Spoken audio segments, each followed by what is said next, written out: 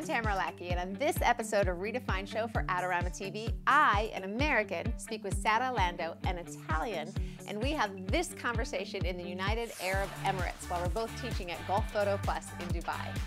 Sara shares with us her kindergarten-style conceptual mixed media work, the client work she absolutely and adamantly turns down and why, and she walks us through from start to finish exactly how she creates her uniquely intriguing pieces. Check it out. Adorama TV presents The reDefine Show with Tamara Lackey. Hi, Sara. Hi, Tamara. How are you? I'm doing great. Thank you. We are here in Dubai, UAE, UAE, Yeah. United Arab Emirates. Um, I'm from the US, you're from Italy. Yes. And we're here at Gulf Photo Plus, Yep. both teaching. Yeah. This is our context. it is. It is. Um, now you're from Bassano, Italy, which Yes. is near Venice? It's near Venice. It's about an hour off Venice. okay. And um, you grew up in Bassano, Yeah. Born and raised. went to Milan to study, Yeah. went back to Bassano Yeah. after going in advertising. Uh, no, I was working in Milan. Met my now husband. Yes. He fell in love with Bassano, and we decided we would live in a place and make the job work around it. Okay. Rather than um, decide the job and then go to a place we might not like. Yeah. Okay. Smart. And then, how did you find your way into the very unique type of photography you do? Well, I still do a lot of, you know, commercial stuff that pays the bill. That stuff allows me to do whatever I want. Mm-hmm. And, And how would you classify that? What's like commercial stuff that pays the bill? uh, lookbooks, or it might be, you know, the little advertising advertising thing for a little company. We decide not to work for big clients. We purposely, like, if a big client contact us and offers us a lot of money, we just go. It's not the kind of stuff we do. We can Why? recommend a photographer because I don't like to spend time with them. Okay. okay. Yeah, I don't like the whole process of working with them. Okay. I love to work like I know my target client. I know my dream client. It's usually small companies with people like being very passionate about what they do, Mm-hmm. uh, who love to be creative, but they don't necessarily know how to. Okay. I'm, I'm the perfect fit for them. Got it. So you already know that you would not be the best fit for working with larger companies, and you don't want to. Yeah. Okay. So those are the that's the type of work that pays the bills. Yeah. What is the work that you feel most passionate about? Uh, it's usually more. Um, it's really hard to define because it's kind of about between photography and illustration, but not necessarily the way it's usually. Philustration? Yeah, Ah. Yeah. nice. Ah, TM, you can Yeah. take it. It's yours. Yeah. It's probably available online. and it's usually stuff that's done uh, with analog processes like mixed media work. I burn stuff, draw, um, drown stuff. and you mean literally burn, not yeah, Photoshop yeah, no, burn. no, no, with fire. I Yes. like fire. Yeah, I like fire. Yeah, that sounds so bad, but yeah, I like. It's basically kindergarten work. That's what I do. Mm-hmm. Yes. And that actually ended up like lending me a lot of commercial jobs. They might know me for that kind of work, and they Right. come to me and it's like, "Oh my God, you're so creative. We love you. We absolutely want to work with you. Mm-hmm. Now go shoot a hundred photo on a black simula- on a black, uh, black Yeah. simula- yeah, you know." And you're like, okay. I'll take the money. Like, Yeah. I, I don't. I like money. Yeah. It's just. I like money too. Yeah. Yeah. It allows you to do funny stuff. yeah, Fun- we're pro stuff. money. Yeah. Pay me, like if you want to give me money, I'll She'll take it. Yeah. So um, the kind of work you do, you've done also some pretty, um, it seems like intricate projects They're not. They're, They're honestly. not? They're, they're super. e- That's the thing. When people. with a kindergarten comment. Yeah. When Yeah. people see how I work, it, it literally looks like a kid at play. It's not any different than that. Okay, so give us an example of one of those projects. I might, uh, for example, like the biggest thing I've done that led to other big thing is this project called Layers, where for a whole year, like once a week, I would pick a random word from the a word randomizer on the internet. The word randomizer. Yeah, yeah, yeah. So you just, whatever it popped out, you would work on yeah, that word. I, I would pop three random words, pick one, because sometimes you would get like um, end, okay. which is kind of hard, you know, as a Yeah. yeah. And then I would pick one, and that would be my theme for the week. Okay. I set boundaries because I strongly believe that limitations are a big part of a creative process. Okay. Yeah, it, It forces you. yeah. The worst push. thing you can do to someone is like, tell me something interesting.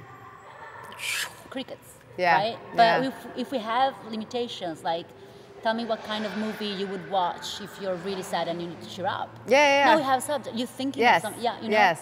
And so I would do that, and it would be a self-portrait shot on film, which I print, which I would then print, and then I would work on using mixed media techniques. Okay. And that would be the image for the week. And using cardboard, I wanted to keep a constant palette, a color palette, Okay. and it ended up being a really great project. And How long did it go?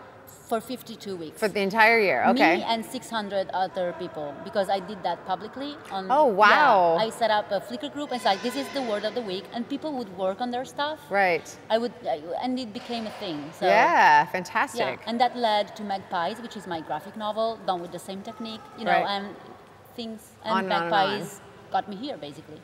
And so your um, your technique, as it were, in terms of managing your career, Yep. was to basically do whatever you creatively Yes, wanted, Yes. yes. and then share it, Yeah. post it, put it out there For free. for free. Yeah. And then people would come to you because they found you or saw you Yeah. or or somebody shared your work. Yeah. And For then they would hire you. Like Ma- Magpies, like this graphic novel I did.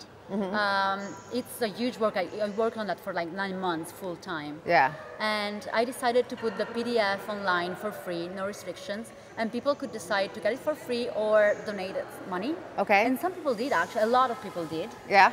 It got read on 23 different countries. What were the what was, just out of curiosity? What were the um, what was the range in donation? uh, between like one dollar and fifty. Okay. So Like, and then I- just all over the people were just all over the place. Yeah, and some people would download it for free the first time and Yeah. then download it again and donate money. Okay. Right. Yeah. And then yeah, which is like insanely like I'm super grateful for that. Yeah, absolutely. And then they started asking for a printed version. I turned down a couple of publishing companies because Mm-hmm. they wanted to do something like really cheap and I wouldn't like the quality of that. Yes. Or they wanted to do like an art book and have it for like a hundred dollars. Yeah. And a hundred dollars for a graphic novel to me it's like it doesn't make any sense. Right. So I decided to crowdfund it Okay. and I did my research, I did my little budget plan, and I knew that if I had twenty thousand dollars, I could do like a really nice campaign. I could like give people something amazing. Right. And everybody told me it was impossible because back then people would basically do these 200, 2,000, 3,000 campaigns for that kind of project. Right. I ended up raising 32,000. so- That's amazing. That's so cool. You're kind of like, yes, I did. Yeah, it's like a lot of most of the time, like that's the story of my life. People will tell me it's not possible, Mm-hmm. and I will tell them, watch me do it. Yeah. Yeah.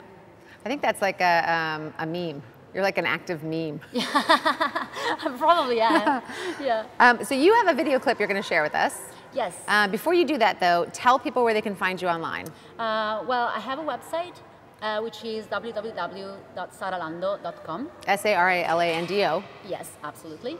I'm on Twitter uh, at Bruko, B R U K O. Okay. Uh, I'm on, and, and that's like I'm really bad. Like I'm someone different everywhere. I know. I I- know. you know, I'm the worst person. Yeah, yeah. With this, uh, I'm on um, Instagram ha- at Hole in the Fabric. Hole in the fabric. Yeah, How about. Facebook? Uh, Facebook, Facebook is Okay, good, yeah, good. You can All right. actually, yeah. Excellent. But usually, if you Google me, you get there. That's, okay. That's the thing. There you go. Yeah, we can find you. Yeah. So tell us about the clip we're about to see. Yeah, it's uh, it's a part. It's part of what I did for layers. Like Mm-hmm. I, it's how I worked on this kind of project, and then there's a little slideshow of the images, final images at the end. So it's like you see, it's super, super, super simple. Perfect. All right, check it out.